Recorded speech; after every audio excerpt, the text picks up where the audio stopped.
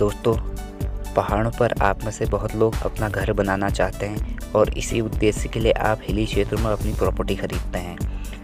दोस्तों, हमेशा ध्यान रखिए, शहरों की बजाय पहाड़ी क्षेत्रों में घर निर्माण कार्य की लागत थोड़ी बहुत ज़्यादा आती है। चाहे आप हमारे मुक्तेश्वर क्षेत्र को ले लें या कहीं और। इसका एक कारण है दोस्तों, जो हमारा कंस्ट्रक्शन मटेरियल होता है, वो आता है हल्द्वानी से या तो बाहर से आता है दोस्तों, जिस कारण से उसका रेट थोड़ा महँगा हो जाता है। और जो यहाँ पर लेबर चार्ज है दोस्तों, जो लेबर काम करती है, वो भी तकरीबन 400 से साढ़े चार सौ रुपये दिन की दिहाड़ी पे काम करती है। दोस्तों, अगर आप भी सोच रहे हैं पहाड़ों पर या मुक्तेश्वर क्षेत्र में अपना घर बनाने की तो दोस्तों, आपकी इसमें हम मदद कर सकते हैं। दोस्तों, आप तस्वीरें देख रहे होंगे किस प्रकार से यहाँ पर काम होता है और किस प्रकार से हम काम करा रहे हैं। दोस्तों, अगर पहाड़ों पर घर निर्माण कार्य कराना हो या आप कहीं पर सोच रहे हैं अपना कार्य जो आपने अपनी प्रॉपर्टी ले रखी है उस पर कंस्ट्रक्शन करने की तो आप दोस्तों हम पे संपर्क कर सकते हैं।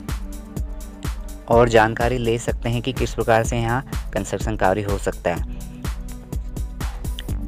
दोस्तों, नंबर के लिए आप डिस्क्रिप्शन चेक ज़रूर करें। डिस्क्रिप्शन में आपको नंबर मिल जाएगा। और दोस्तों, हमेशा ध्यान रखिए, आप किस प्रकार का कार्य कराना चाहते हैं, आपकी लागत कितनी आएगी, साथ ही आपका कितना टाइम लगेगा।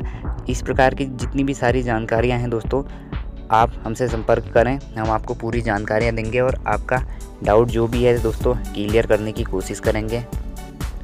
तो दोस्तों, आज की हमारी यह वीडियो आप लोगों को कैसी लगी प्लीज़ कमेंट करें और चैनल को अभी तक सब्सक्राइब नहीं किया तो सब्सक्राइब ज़रूर करें। दोस्तों, हम लाते रहते हैं इस चैनल पर ऐसी ही वीडियोज़ और साथ में, दोस्तों, अगर आपको मुक्तेश्वर क्षेत्र में अपनी कोई प्रॉपर्टी लेनी है, आप हमारी प्ले लिस्ट मुक्तेश्वर प्रॉपर्टी को देखना ना भूलें ताकि आपको कुछ आपके लिए बेहतर आइडिया भी मिल सकता है दोस्तों। तो चलिए मिलते हैं अगले वीडियो में दोस्तों। तब तक के लिए खुश रहें, स्वस्थ रहें, अपनों को खुशी दें। जय हिंद दोस्तों।